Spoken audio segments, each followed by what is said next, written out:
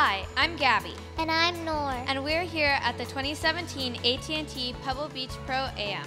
There are a lot of fun things to do here at the Chevron STEM Zone. Nor, what's your favorite? I like the STEM bounce exhibit. It measures the effect of air pressure on the bounce of a soccer ball. Awesome! I can't wait to try it. Thanks, Chevron.